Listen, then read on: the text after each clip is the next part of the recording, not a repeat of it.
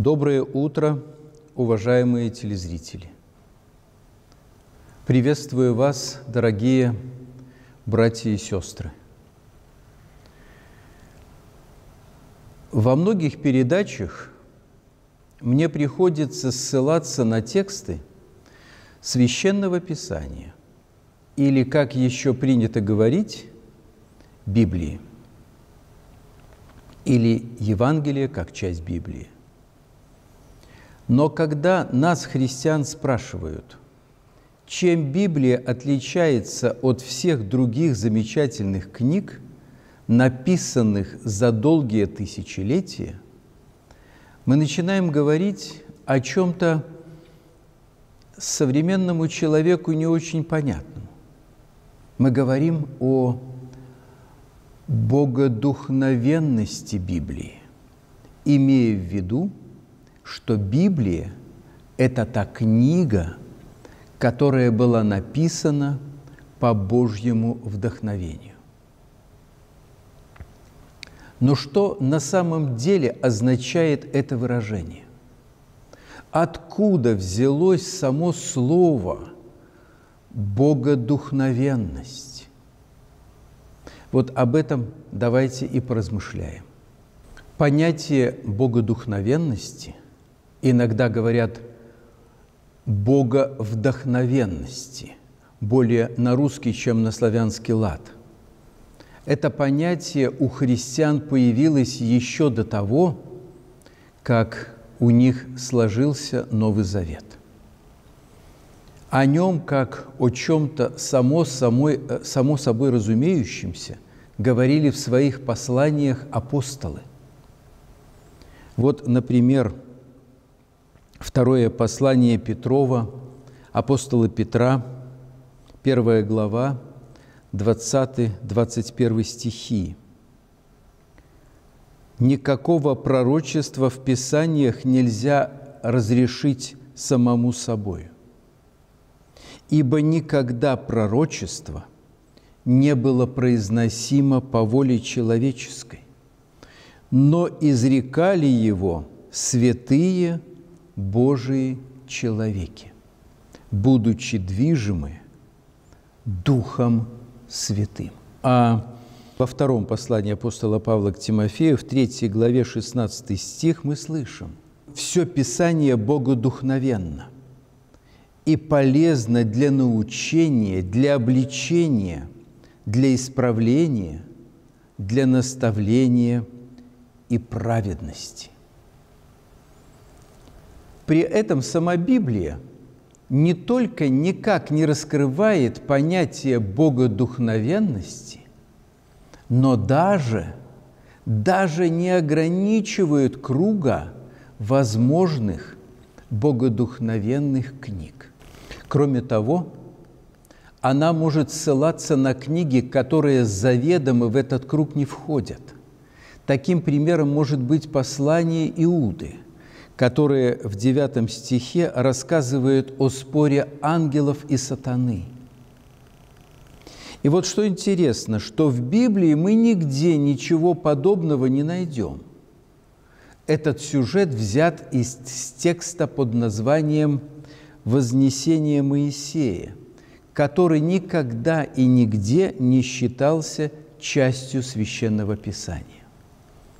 Так что если автором библейского текста мы называем самого Бога, а текст откровением свыше, то вопросы здесь только начинаются. Ведь библейские тексты не упали к нам с неба. Они были написаны людьми, часто – но не всегда мы знаем, какими именно. И вот естественный вопрос. Так как же сочетается божественное авторство с человеческим? Можно ли воспринимать библейский текст в его нынешнем виде как прямую и непосредственную передачу слов самого Бога. Оказывается, представление о богодухновенности Библии было не одинаковым в разные времена и у разных авторов. Все отцы церкви, которые касались этого вопроса, подчеркивали, что Бог действительно автор этой книги. Некоторые даже сравнивали человеческих авторов с музыкальными инструментами, на которых играл Бог. Но, по-видимому, это было скорее риторическое преувеличение. В те времена, как, впрочем, и сегодня, слишком многие сомневались в божественном происхождении Библии. Но в святоотеческой литературе мы встречаем указание на то, что авторы не утрачивали сознание и естественных способностей. Они вовсе не были медиумами в состоянии транса, записывавшими весть свыше. Святитель Иоанн Златоуст особо подчеркивал, что такими медиумами могли быть только лжепророки – а истинные пророки не теряли своей индивидуальности, когда передавали людям Слово Божие. Это очень важные слова Иоанна Златоуста. И в особенности значимым и ясным стало такое отношение христиан к истинному пророчеству во времена возникновения и распространения ислама. Для мусульман Коран существовал прежде сотворения мира и в свое время был буквально продиктован пророку Мухаммеду. Слово в слово, без малейших отступлений от небесного оригинала. Но христиане относятся к этому иначе. Если для мусульман – воплотившееся в мире Слово Божие, это книга, то есть Коран, то для христиан это Бога-человек Иисус Христос. А Библия – книга, которая рассказывает о Нем и о множестве других личностей. Но первично в любом случае не книга – а тот, о ком она говорит. Но с особой силой споры о, выражаясь современным языком, технологии богодухновенности начались по сути во времена реформации. В значительной мере это было связано с принятым реформацией принципом принципом, согласно которому только Писание, то есть Библия, служит авторитетным источником вероучения. И вот здесь следует иметь в виду, что у православных и католиков огромную роль играет церковное предание. А церковное предание – это совокупность многовекового опыта жизни церкви, передающиеся из поколения в поколение христианами. Если считать, что только Писание, то есть Библия, служит авторитетным источником вероучения, то действительно крайне важным становится проведение четкой границы между Писанием – и всем остальным. Вот поэтому Лютер и Кальвин, отталкиваясь от текстов, которые я цитировал прежде, повторили слова о библейских писателях как инструменте, на котором играл Дух. Их последователи в XVII-XVIII веках, такие как Хемниц и Герхард и другие Вот этими последователями была выработана теория, основанная на методах схоластического богословия, которое мы не найдем у ранних христианских авторов. Одновременно появились и другие теории, например, что Дух передал библейским авторам лишь содержание откровения, а они записали его своими словами. Вот такая теория дает должное стилистическому разнообразию библейских книг.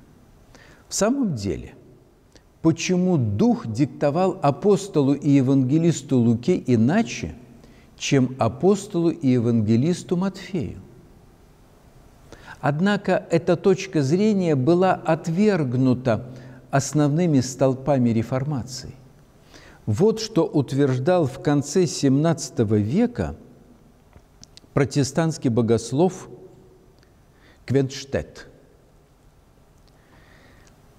Святой Дух вдохновлял пророков и апостолов не только в том, что касается содержания и смысла Писания или значения слов, так что они могли по своей собственной воле облекать и украшать эти мысли своим собственным стилем и словами, но Святой Дух действительно поддерживал, вдохновлял и диктовал самые слова, всякое и каждое выражение по отдельности.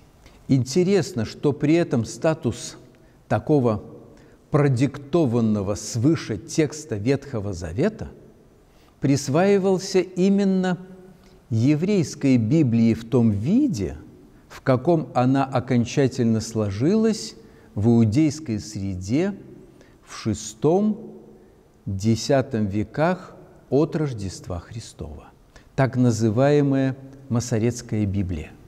Спустя века после разделения иудаизма и христианства. Впрочем, сами описания буквальной диктовки вполне соответствуют традиционным иудейским представлениям о Торе, непосредственно продиктованной Моисею на горе Синай. Такая точка зрения была принята и католиками на Триденском соборе 1546 года. Но уже в 1870 году на Первом Ватиканском соборе определение о диктовке Святого Духа было заменено на вдохновение Святого Духа. А вот среди православных, пожалуй, и не было таких активных споров о технологии богодухновенности. И мне думается, не было их, вероятно, потому что Писание воспринималось не как нечто, противостоящее преданию, то есть опыту церковной жизни, а как центральная часть этого предания. Таким образом, Писание не отгораживалось от предания стеной, не противопоставлялось ему. Но как развивались события далее, мы с вами поговорим в нашей следующей передаче.